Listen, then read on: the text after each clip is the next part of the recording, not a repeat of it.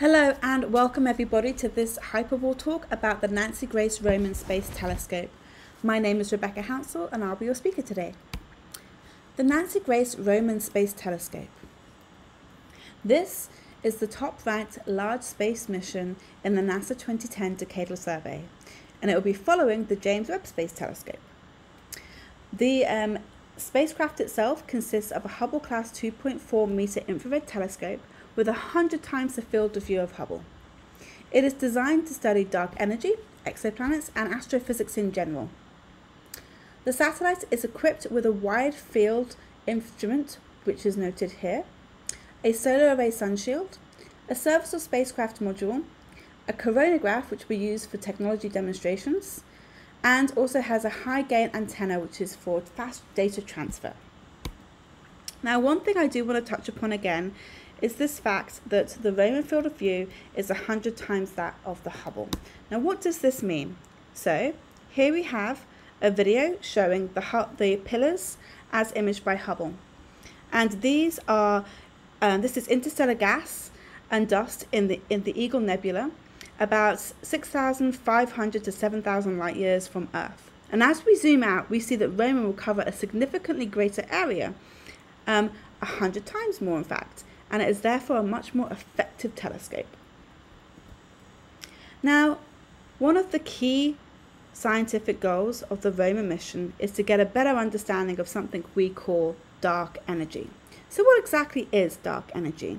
Well, a long while ago, astronomers determined that the universe is expanding, meaning things are moving away from each other in all directions. However, this expansion was found not to be constant, but to occur at an accelerated rate. The only way for this to be happen would be for some mysterious force, now dubbed dark energy, to be causing it. Dark energy is the factor needed to make our universal equations balance. Without it, we don't know how to account for the acceleration observed. This mysterious force was first noted through the use of Type 1a supernovae. These are the explosive deaths of white dwarfs in binary systems. In these systems, the white dwarf obtains mass from either another white dwarf companion or some other less evolved star in the system. Once the mass of the white dwarf reaches a specific limit, known as the Chandrasekhar limit, a runaway reaction ensues, leading to the destruction of the system. Because the amount of energy released is very similar for each supernova 1A event, scientists can measure how far away the event was based on the brightness of the explosion observed. The further away these explosions are, the earlier back in time we're observing. This means that astronomers can measure the expansion of the universe and the rate that it is occurring through the observation of Type 1a supernovae and thus derive some knowledge about dark energy and its potential evolution. Astronomers use space telescopes to look at much fainter Type 1a supernovae than ground-based can, and this is probing an era of time much less understood.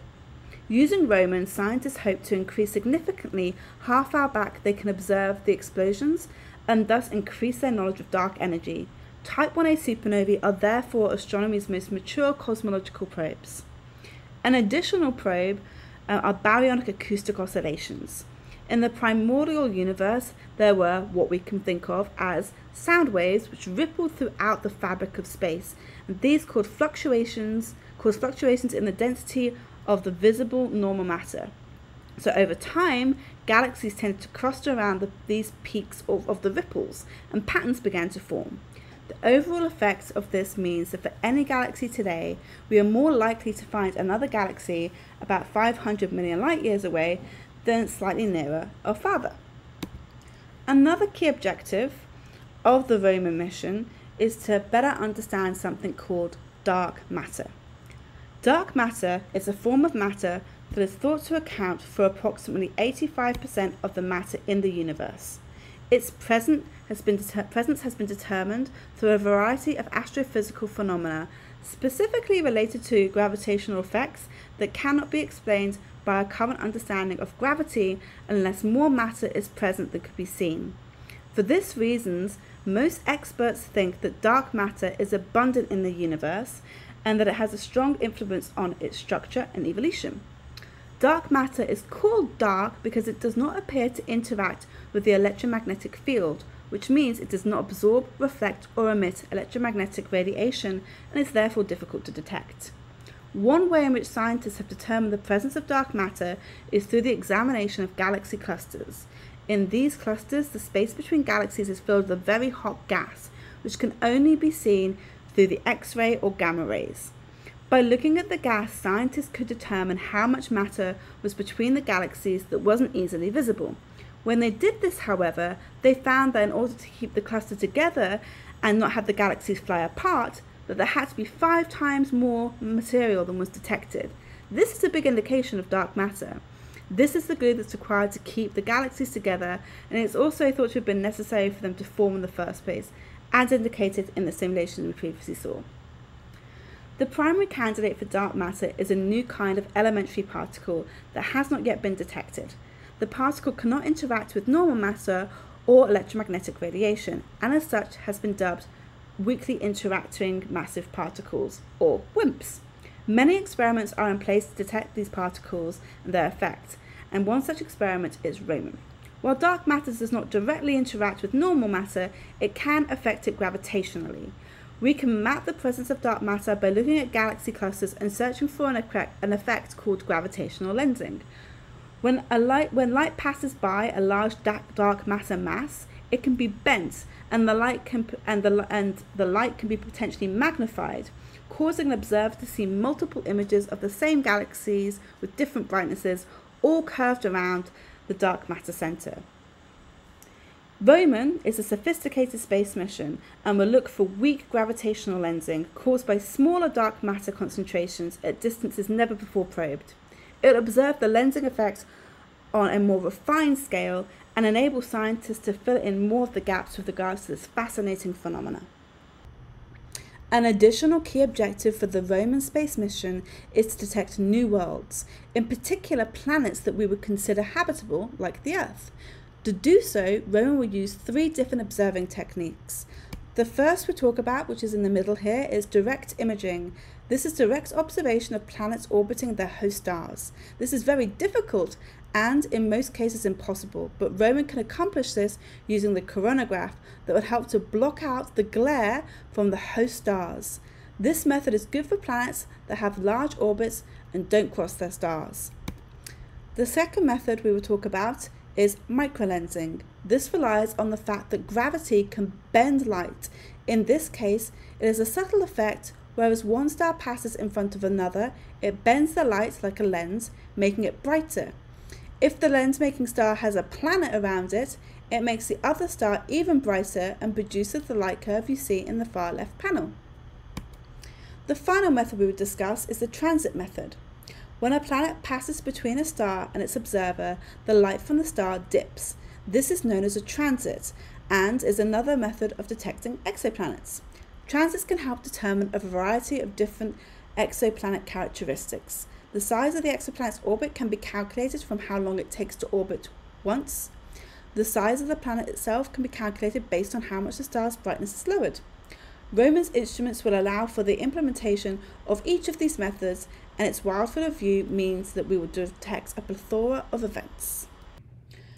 Roman's key objectives will be achieved through the implementation of three core surveys the Galactic Bulge Time Domain Survey, the High Latitude Wide Area Survey, and the High Latitude Time Domain Survey. The Galactic Bulge Time Domain Survey is geared towards the search for exoplanets. It will also examine stellar variability and provide insights into the structure of our Milky Way. The survey will be repeated wide field instrument observations over a set of fields selected for high stellar density and low foreground dust obscuration within the galactic bulge. It will obtain light curve measurements of exoplanets, source star, and host star geometries over time. The notional microlensing survey concept cycles through seven wide field instrument fields, so about 2 square degrees total area. It will do so every 15 minutes through six 72 day bulge seasons, when the galactic bulge is visible given Roman's orbital and pointing constraints. The High Latitude Wide Area Survey consists of combined imaging and spectroscopy over a common survey region using the Wide Field instrument. The imaging component of the High Latitude Wide Area Survey enables weak lensing shape measurements of hundreds of millions of galaxies, which yields precise measurements of matter clustering through measurements of cosmic shear, galaxy galaxy lensing, and the abundance of mass profiles of galaxy clusters. There will be imaging for at least 1,700 square degrees in four near infrared bands. The spectroscopic component of the High Latitude Wide Area Survey measures redshifts of tens of millions of galaxies via GRISM spectroscopy, again using the wide field instrument over the same area as that for the imaging. The High Latitude Time Domain Survey consists of combined imaging and prism spectroscopy over a common survey region. There is likely to be an observing area in the northern and southern hemispheres with a cadence of five days and multiple tiers which focus on obtaining Type 1a supernovae at different redshifts. Thank you for your time. This is the end of my talk.